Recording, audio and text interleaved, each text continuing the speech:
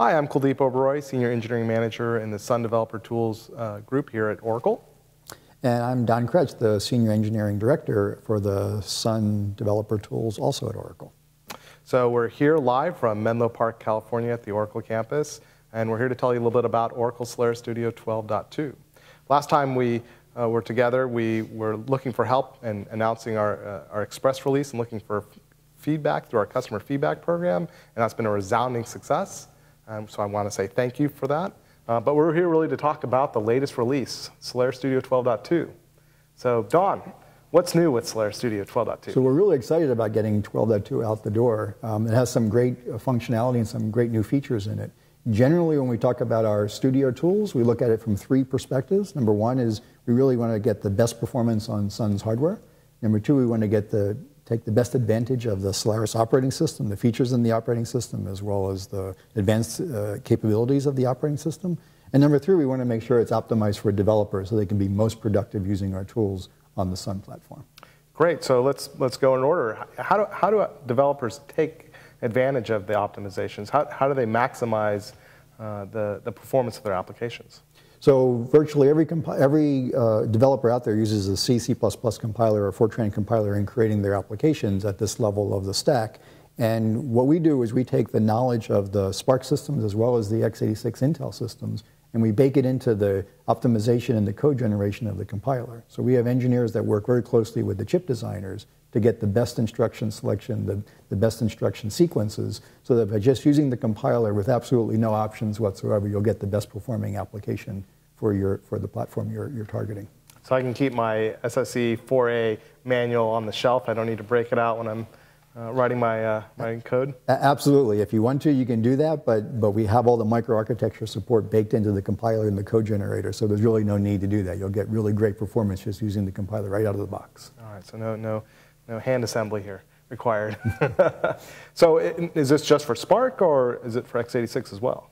So we have SPARC support, clearly, the, the T series, uh, the M series, the, the larger uh, SMP type boxes, as well as uh, Intel, the, the, uh, the, Intel boxes from, from Sun, which are based on the new Nehalem and Westmere uh, platforms from the Intel Corporation. So we're, we're announcing benchmarks all the time, world record benchmarks on both Spark and x86, whatever flavors of, of those architectures uh, we cover them all, it seems. A absolutely. There, there's uh, so many benchmarks, I can't even number, name them all. There, there's you know, you know, hundreds of benchmarks over the years we've gotten, and in this latest release, I believe the, number is about 12 to 15 that we've, we've logged just for the 12.2 release itself. Great.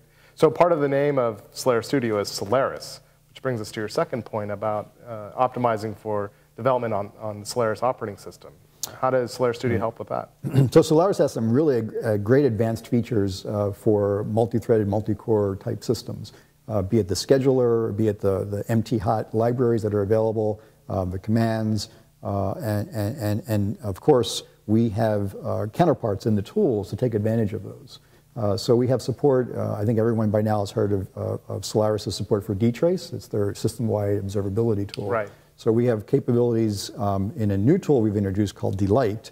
And the DLight tool allows you to take advantage in a, in a more developer-friendly, easier, more approachable way of the dtrace functionality that's baked into Solaris. Do I need see, to know dtrace uh, to take advantage of DLight? Um, there's a bunch of dtrace scripts that are already defined in the tool, so you can literally drag and drop them and just run them directly. If you prefer to extend them for uh, special customizations you need, then you can always do that as well. Okay. Great.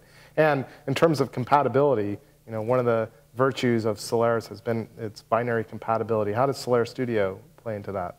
So binary compatibility has been a hallmark of Sun and, and Solaris systems for a number of years, and since literally the Solaris 2.0 release back in the early uh, 90s. And we continue that, that tradition going forward under Oracle. So if you were to use uh, the Studio 12.2 release, you could generate any object files, shared objects, uh, uh .o object files, and link them with any previous version uh, of, of, object files produced with earlier versions of the Studio family. And they will all link and be compatible against the Solaris operating system. Okay, great.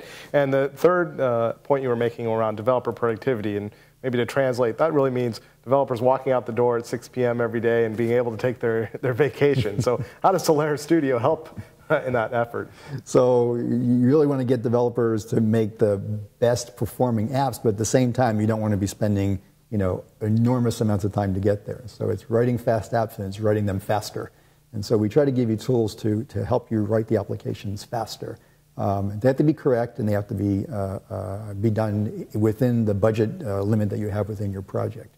So we have tools like a performance analyzer. Performance analyzer works with C and C++ as well as Java code as well. That gives you great insights to the multi-threaded aspects of your, of your program to show where you're using system resources. Uh, we have another tool called Thread Analyzer. Thread Analyzer will help you uh, find uh, uh race uh, conditions and deadlock conditions in your code, mm-hmm. which is uh, just a horrible problem when you're writing multi-threaded right. code. Very easy to fall into those, those situations. Um, we have some new tools in, in, in Studio 12.2, and the new tools have to cover things like, like memory checking.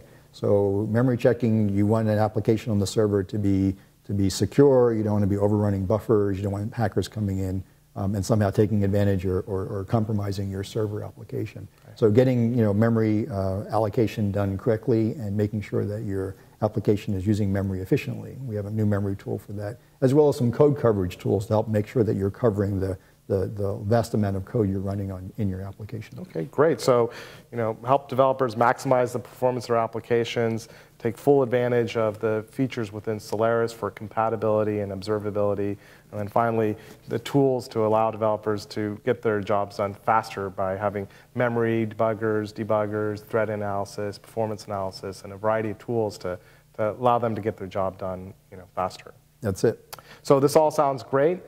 How much does it cost? So uh, the, the, all the code, the product is, is free for download from the OTN website.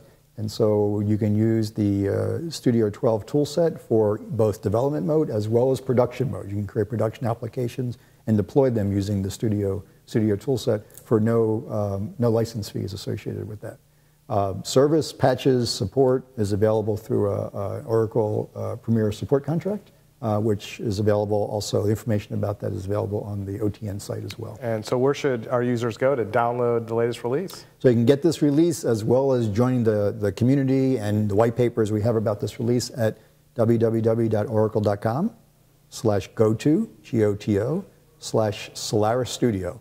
Uh, go to that website, and any, any link on there will, will get you to the uh, OTN site for, for download and white papers. Great. Thanks, Don, for the scoop. Okay, thank See you. See you next time.